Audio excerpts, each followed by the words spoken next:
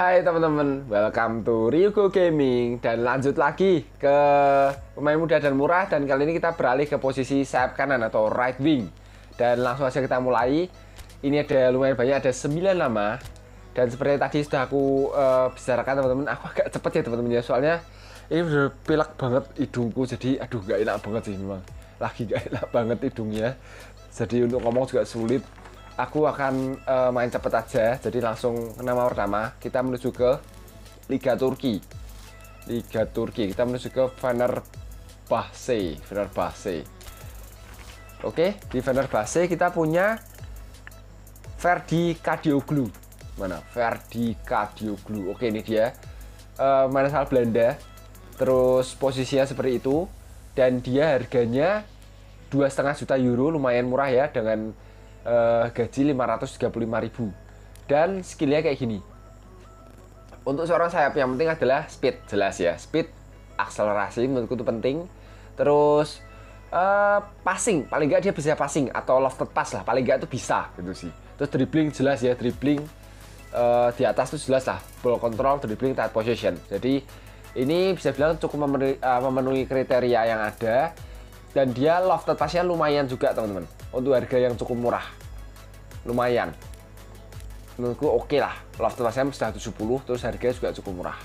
Oke lanjut ke nama kedua. Kita menuju ke Aset Alkmaar ke Eredivisie. Mana Eredivisie? Oke Aset ini kita punya uh, hak eh apa namanya? Hakon. Hakon Efsen Hakon Evjen. Ini dia, Hakon Evjen, 20 tahun teman-teman, main asal Norwegia. Posisinya seperti itu. Terus harganya 3,2 juta dan gajinya 410, murah banget gajinya. Dan skillnya kayak gini. Jadi ini memang masih sama, hampir sama kayak tadi. Jadi masih lebih banyak merahnya. Tapi menurutku dia eh, paling nggak tuh sudah lumayan memenuhi aspek-aspek yang menurutku tadi yang dibutuhkan seperti soalnya dribbling, tight position, ball control juga hampir kuning terus lofted pass paling nggak bisa lah udah 71 terus speed juga ada akselerasi.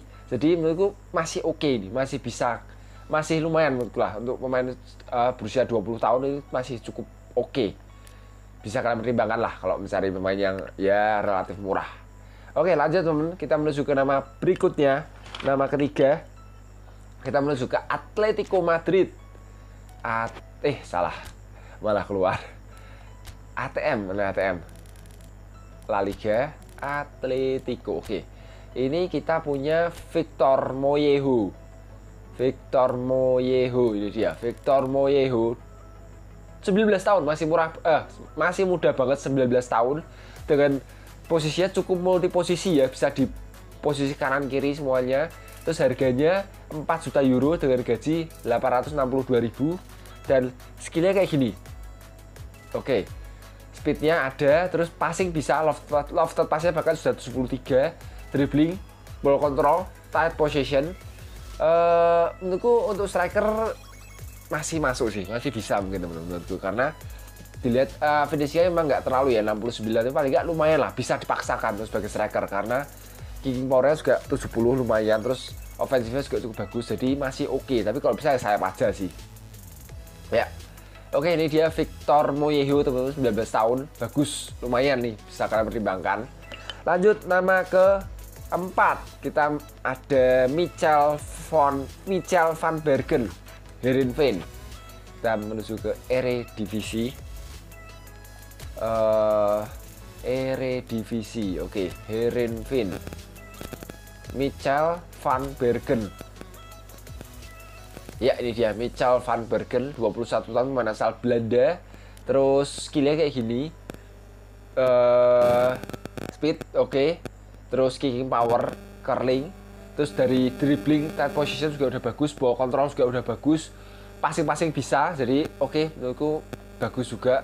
Terus harganya 3,6 juta dengan gaji 600 ribu. Oke menurutku bisa kalian pertimbangkan juga nih salah satu pemain muda ini Michel van Bergen Lanjut lagi teman-teman ya. Kita menuju nama ke 5 ada Brian Beumo dari Brentford dari divisi championship ya. Brentford, Brentford ini dia. Brian Beumo Ya ini dia. Brian Mbeumo overall sama 74 posisinya bisa kanan kiri 21 tahun pemain asal Prancis kemudian harganya 8 juta euro. Lumayan agak lumayan mahal nih dengan gajinya 686 ribu euro. Dan skillnya kayak gini. Oke ini sudah semakin bagus teman-teman. Kita lihat speednya lumayan kenceng. Terus kicking power bisa curling bisa. Uh, stamina oke okay, balance. Terus kemudian di atas itu juga lumayan bagus semua ya. Dribblingnya udah bagus. Ball control juga udah bagus. Type position juga lumayan. Pasti-pasti juga bisa bahkan lofted passnya lumayan bagus ini sudah semakin sempurna. Finishing dia bisa. Jadi menurutku ini sudah semakin sempurna untuk posisi sayap kanan main mudanya sudah semakin bagus. Harganya tapi memang relatif agak mahal ya untuk Beumo ya. Tapi worth it sih menurutku cukup worth it. Ya seperti itu aja untuk uh, Beumo lanjut lagi teman-teman. Kita menuju ke nama ke uh, sebentar. Satu dua tiga empat lima enam.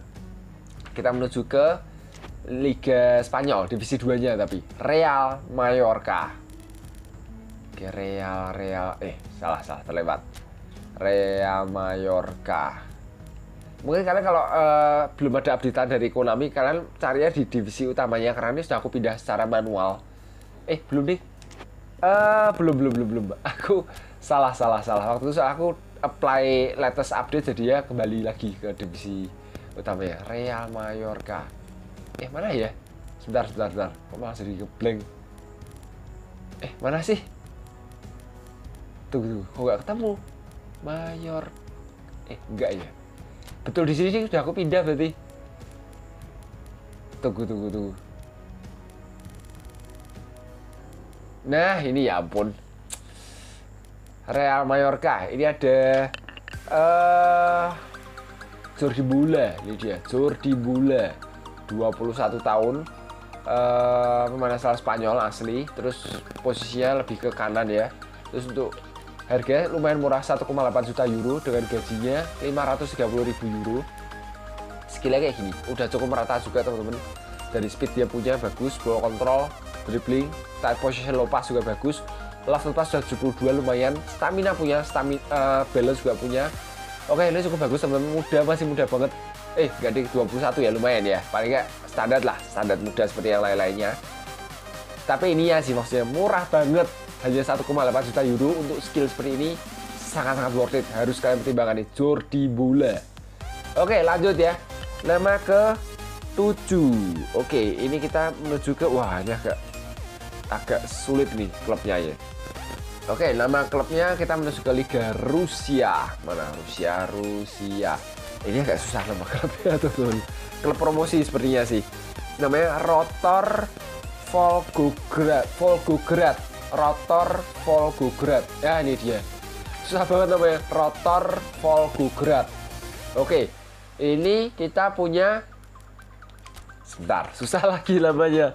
Uh, Surika Davitasvili Surika Davitasvili. Ini dia, Surika Davitasvili. 19 tahun masih muda banget teman-teman, main asal Georgia. Posisinya seperti itu. Terus uh, harganya 2,3 juta euro dengan gaji 300 murah banget gajinya hampir 400 ribu euro. Terus gila kayak gini. Uh, speednya kenceng ya. Ini sudah kenceng speednya dan ini sudah semakin matang lagi. Kita lihat tuh.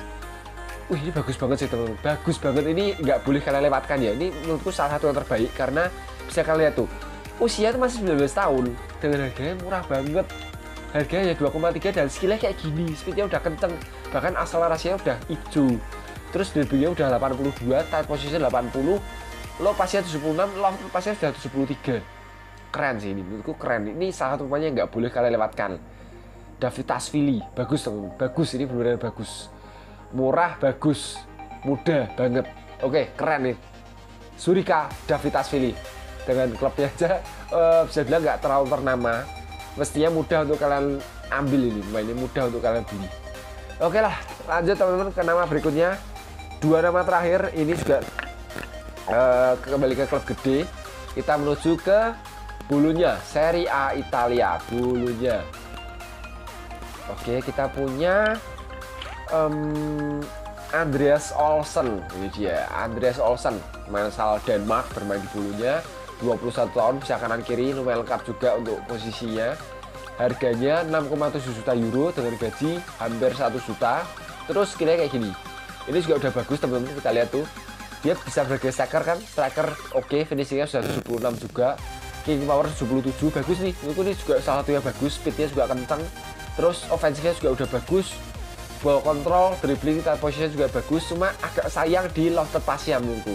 Jadi menurutku ini kok kayak lebih cenderung ke ya lebih ke striker sih malah menurutku ya.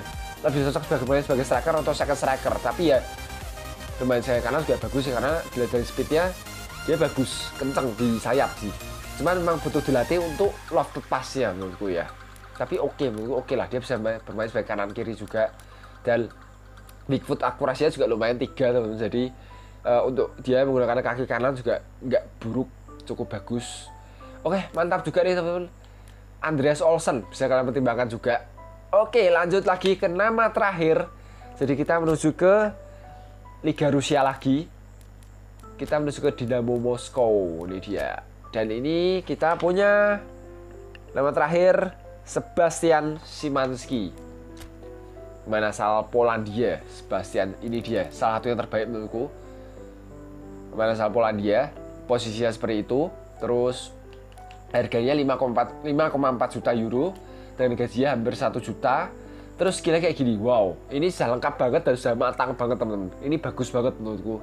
Karena matang lumayan matang. Dan uh, banyak yang sudah 80-an dribbling, tight position sudah 80, curling, speed, akselerasi, kicking power, stamina sudah 80-an semua. Didukung ada balance juga sudah 77 plus kicking dia bisa. Jadi dia bisa free kick pastinya. Plus kickingnya bagus curlingnya bagus kicking powernya bagus. Terus low passnya juga udah lumayan lofted passnya sudah 72 lumayan ball control. Jadi menurutku ini oke okay banget sih mantap banget. Kalian harus pertimbangkan membeli si Manski ini. Sorry teman-teman aduh agak pilek soalnya. Ah ya udahlah terus gitu dulu aja. Jadi itu tadi 95 itu. Sorry teman-teman untuk hari ini. Aku agak cepet-cepet semua mainnya dan mungkin maksudnya bukan mainnya ya membahasnya agak cepet dan mungkin agak kurang fokus. Karena dulu ini mengganggu banget hidungnya. Ya udahlah segitu dulu aja teman-teman. Semoga besok sudah membaik pileknya. Besok bisa aku memberikan konten yang lebih bagus lagi. Oke teman-teman segitu dulu aja. Jangan lupa untuk kata tombol subscribe, like, komen di bawah Dan share ke teman-teman kalian. Thank you for watching And see you in the next video. Bye bye